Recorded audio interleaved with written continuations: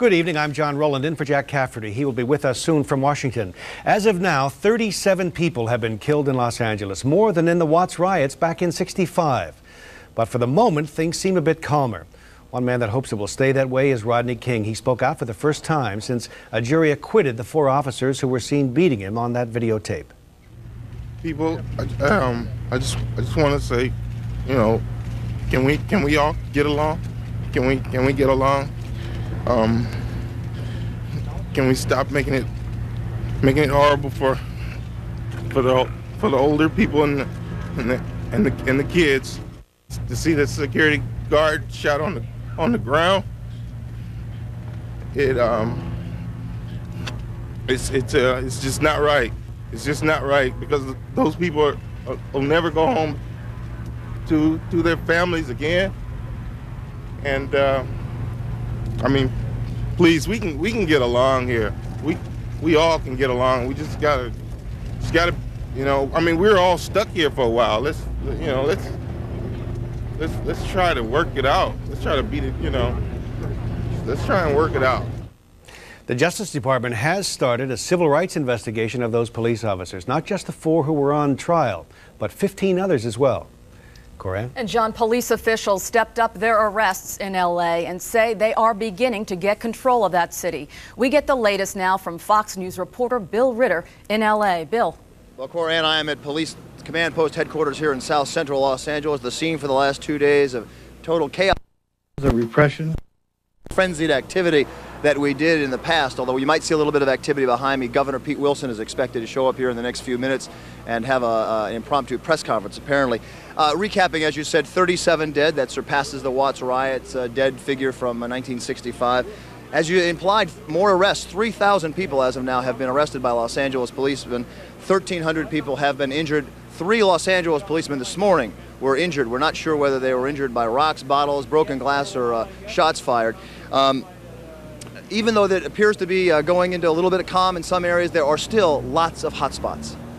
The city's dusk to dawn curfew did keep the streets empty in many neighborhoods, but there were still dozens of major fires during the night. Some people tried to tap fire hydrants themselves. Some even used an old-fashioned bucket brigade.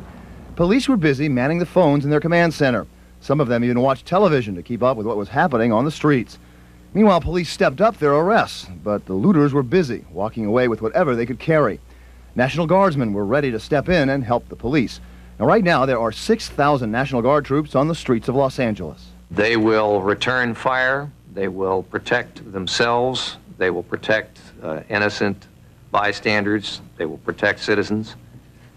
They will not, uh, obviously, they will not engage in a firefight unless uh, they have been provoked. We are totally committed uh, to provide the resources uh, to ensure that the hoodlums out there, uh, the gangsters, are not going to be able to terrorize the city, that we're going to gain control and provide the safety and security that the people of Los Angeles deserve and want. President Bush also announced that 1,500 Marines and 2,500 Army soldiers will be ready, just in case they're needed. But in many parts of the city, like Koreatown, store owners stuck together to hold off the looters well, we're saving our store. This is what we worked our life for, you know? We're not going to see it go burn down to the ground. The damage and violence edged into Hollywood last night. Stores along the Walk of Fame were burned out. Oh, I can't believe it. It's unbelievable. We had a store here, and we came to see if we can salvage anything. It's all gone. I've been in Hollywood 16 years. I've seen a lot come and go, and just like, this is ridiculous. Well, I mean, everything will eventually get better. I hope today will, will show that it does get better. Back live at Police Command Post Headquarters, South Central Los Angeles. Again, police are not yet ready to say things are, uh, are out of chaos. They do not have control over this city. But privately, many of them are hoping that things will get under control by this weekend. Of course, we'll have to wait and see. Reporting live from South Central Los Angeles, Bill Ritter, Fox News. John, back to you. All right, Bill. Here in uh, New York, there have been several demonstrations against the King verdict, but so far all of them rather peaceful. Christopher Jones is in Times Square right now. Chris.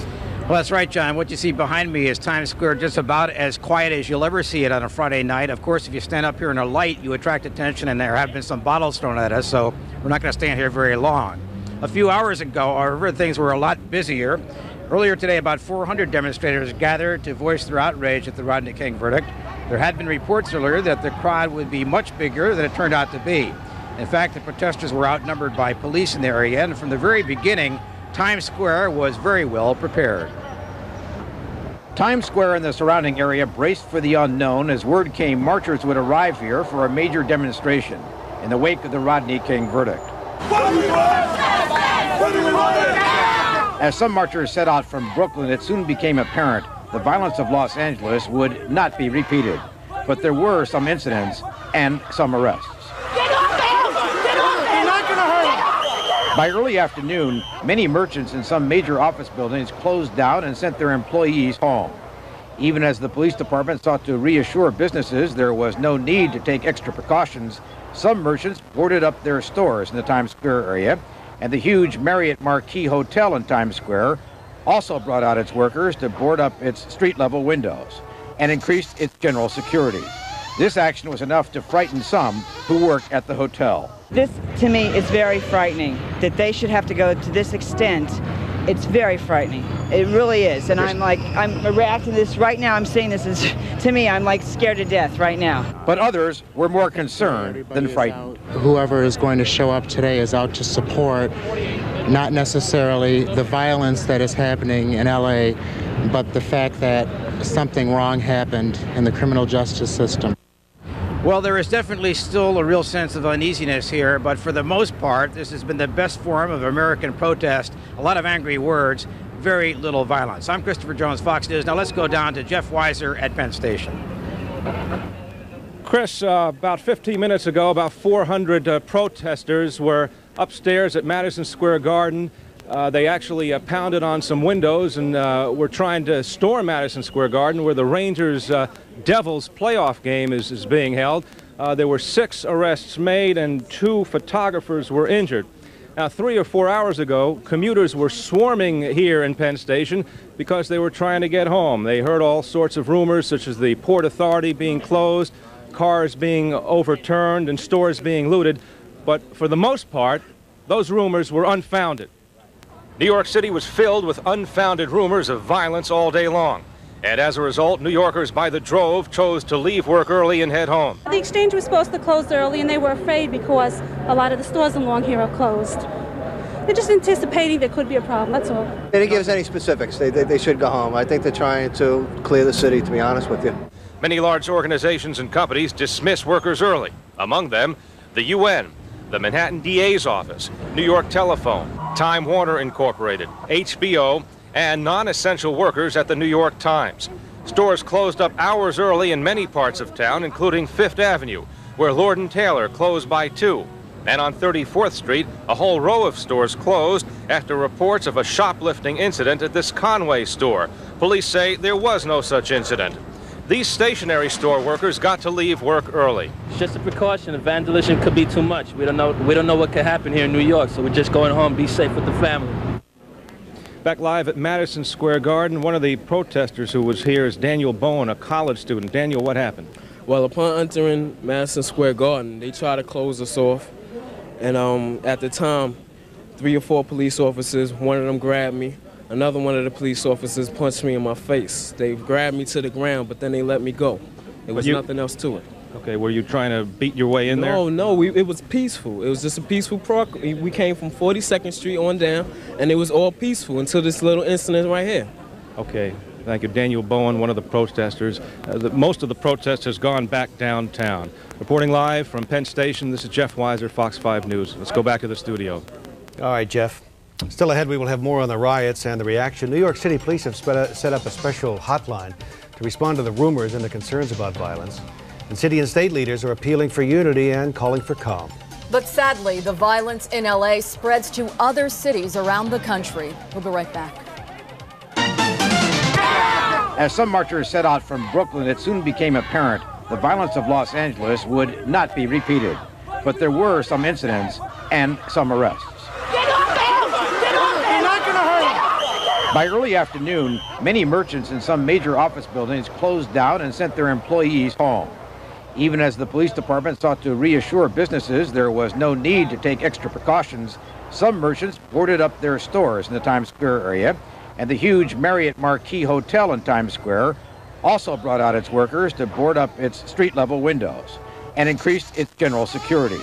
This action was enough to frighten some who work at the hotel. This, to me, is very frightening that they should have to go to this extent. It's very frightening. It really is. And I'm like, I'm reacting to this right now. I'm saying this is, to me, I'm like scared to death right now. But others were more concerned than frightened. Whoever is going to show up today is out to support not necessarily the violence that is happening in LA, but the fact that something wrong happened in the criminal justice system. Well, there is definitely still a real sense of uneasiness here, but for the most part, this has been the best form of American protest. A lot of angry words, very little violence. I'm Christopher Jones, Fox News. Now let's go down to Jeff Weiser at Penn Station. Chris, uh, about 15 minutes ago, about 400 uh, protesters were upstairs at Madison Square Garden. Uh, they actually uh, pounded on some windows and uh, were trying to storm Madison Square Garden where the Rangers uh, Devils playoff game is, is being held. Uh, there were six arrests made and two photographers were injured. Now, three or four hours ago, commuters were swarming here in Penn Station because they were trying to get home. They heard all sorts of rumors, such as the Port Authority being closed, cars being overturned, and stores being looted. But for the most part, those rumors were unfounded. New York City was filled with unfounded rumors of violence all day long. And as a result, New Yorkers by the drove chose to leave work early and head home. The exchange was supposed to close early, and they were afraid because a lot of the stores along here are closed.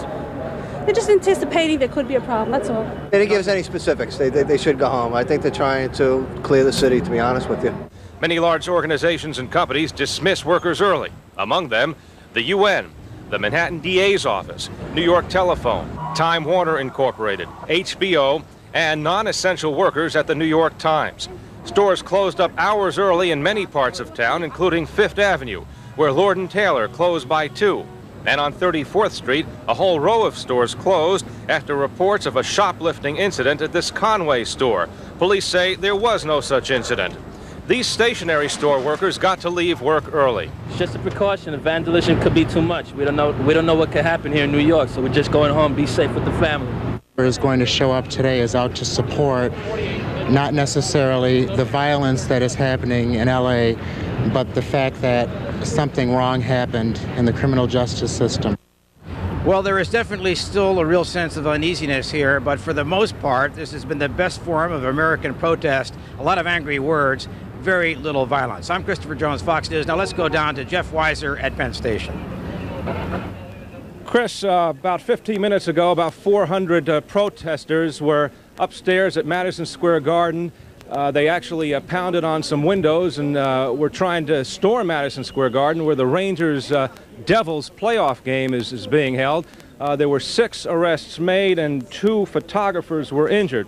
Now, three or four hours ago, commuters were swarming here in Penn Station because they were trying to get home. They heard all sorts of rumors, such as the Port Authority being closed, cars being overturned, and stores being looted. But for the most part, those rumors were unfounded. New York City was filled with unfounded rumors of violence all day long. And as a result, New Yorkers by the drove chose to leave work early and head home. The exchange was supposed to close early, and they were afraid because a lot of the stores along here are closed. They're just anticipating there could be a problem, that's all. They didn't give us any specifics. They, they, they should go home. I think they're trying to clear the city, to be honest with you. Many large organizations and companies dismiss workers early, among them the UN, the Manhattan DA's office, New York Telephone, Time Warner Incorporated, HBO, and non-essential workers at the New York Times. Stores closed up hours early in many parts of town, including Fifth Avenue, where Lord & Taylor closed by 2. And on 34th Street, a whole row of stores closed after reports of a shoplifting incident at this Conway store. Police say there was no such incident. These stationery store workers got to leave work early. It's just a precaution. The vandalism could be too much. We don't know. We don't know what could happen here in New York, so we're just going home, be safe with the family. Back live at Madison Square Garden, one of the protesters who was here is Daniel Bowen, a college student. Daniel, what happened? Well, upon entering Madison Square Garden, they tried to close us off. And um, at the time, three or four police officers, one of them grabbed me, Another one of the police officers punched me in my face. They grabbed me to the ground, but then they let me go. There was you- nothing else to it. Okay, were you trying to beat your way in there? No, no, we, it was peaceful. It was just a peaceful proc. We we came from 42nd Street on down, and it was all peaceful until this little incident right here. Okay, thank you. Daniel Bowen, one of the protesters. Uh, the, most of the protest has gone back downtown. Reporting live from Penn Station, this is Jeff Weiser, Fox 5 News. Let's go back to the studio.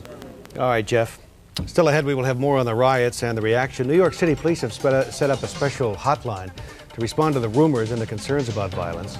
And city and state leaders are appealing for unity and calling for calm. But Soldiers will be ready, just in case they're needed. But in many parts of the city, like Koreatown, store owners stuck together to hold off the looters. Well, we're saving our store. This is what we worked our life for, you know? We're not going to see it go burn down to the ground. The damage and violence edged into Hollywood last night. Stores along the Walk of Fame were burned out.